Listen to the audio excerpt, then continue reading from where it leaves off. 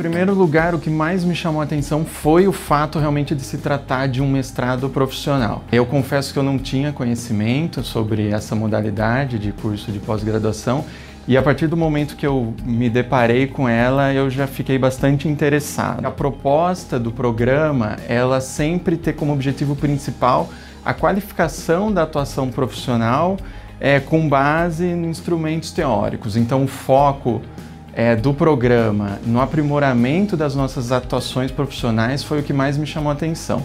Em segundo lugar, foi a linha de direito penal econômico, que é uma linha extremamente relacionada com o meu dia a dia no Ministério Público Federal. Como nós atuamos muito em casos de crimes contra o sistema financeiro, crimes contra a ordem tributária, então a linha de direito penal econômico também me chamou a atenção por causa dessa relação dela com o meu dia a dia. A experiência do mestrado profissional tem sido bastante satisfatória.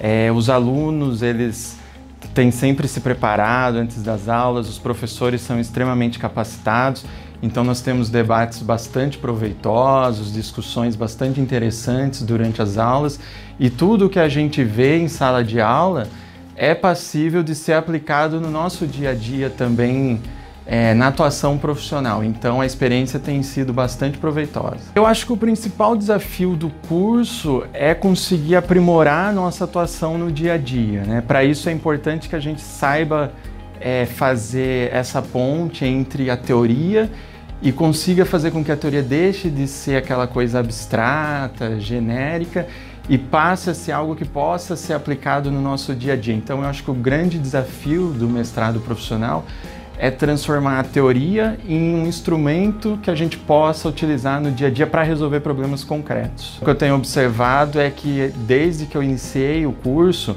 a minha atuação profissional ela já já melhorou qualitativamente em relação ao que era antes, já vem sendo aprimorada é, em razão do conteúdo que a gente vem recebendo.